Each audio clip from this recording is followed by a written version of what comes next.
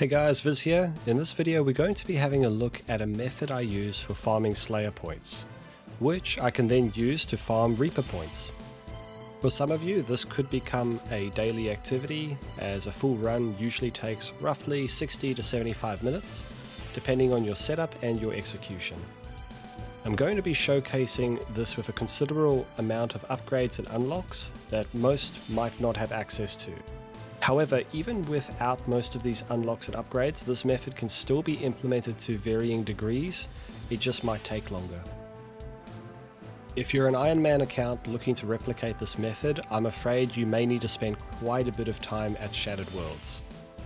I'm so sorry. On that note, let's get into it. I'm using an Inquisitor staff with Caroming 4, as this allows me to farm multiple mobs and is only enhanced by the Greater Chain unlock get the most out of this approach, we're going to set up some comical monster preferences and blocks with our Slayer Masters. You will want to pick up the Slayer Introspection Relic for additional speed. This relic allows you to pick a minimum or maximum for the task given. Make sure you are using ancient spells as we will be using the spellbook swap in order to switch to Lunar for NPC contact. Then it's off to the Lumbridge Catacombs. Now, the goal here is to finish 9 tasks very quickly with Jacquelyn without leaving the catacombs.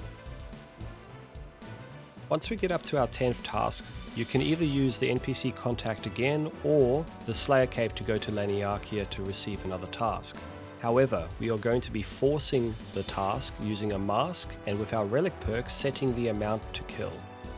The mask of choice then allows us to teleport directly to the monster of choice, when finishing the task we will net 110 Slayer points. Doing this process 5 times allows us to net the 50th task bonus of 330 Slayer points. As a result, you can collect comfortably on a daily basis 815 Slayer points in roughly 1 hour. 1 point for each of Jacquelyn's 45 tasks and 770 points from the 5 Laniakea tasks. Putting these points into Reaper tasks means on a daily basis this will allow for 3 additional Reaper tasks from death, if you have the ability unlocked to purchase additional tasks. Okay, let's talk about those Laniakea Slayer tasks. The daily monsters and masks I use and would recommend are the Abyssal Demons, Gargoyles, Dark Beasts, and the Mutated Jadinkos. And for the final task, I alternate on a 3 day rotation between Dagannoths, Ganodermic Beasts, and Black Demons. This 3 day rotation is because these masks have a 3 day cooldown unlike the daily masks. I find Kuradal's dungeon to be ideal for the Abyssal Demons and Gargoyles. The Morning Tunnels are ideal for the Dark Beasts, Mutated Jadinkos and Ganodermic beasts only have one true location. Black demons can be done at a reasonable speed in Taverley Dungeon with a cannon. And finally, Dagannoths underneath the lighthouse with a cannon are nice and quick. Quick note, it doesn't really matter quite how you go about killing each of these monsters, you can employ your own styles and preferences and gear. I tend to use subjugation for the most part, as I have scavenging 4 on the gear, Sometimes switching to range in Armadyl gear for Black Demons just to speed it up and it's usually because it's my last task.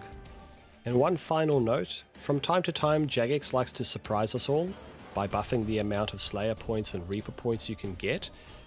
I'd strongly recommend waiting for one of these occasions to make the most of this method, as this method can get a bit tedious for most people. Anyway, I hope that helps and I'll see you in the next video.